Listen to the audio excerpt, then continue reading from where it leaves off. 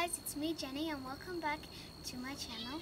So today I am outside and I'm going to be doing a part 2 of the Anima versus me video. So let's get started. So the first trick that I'm going to be doing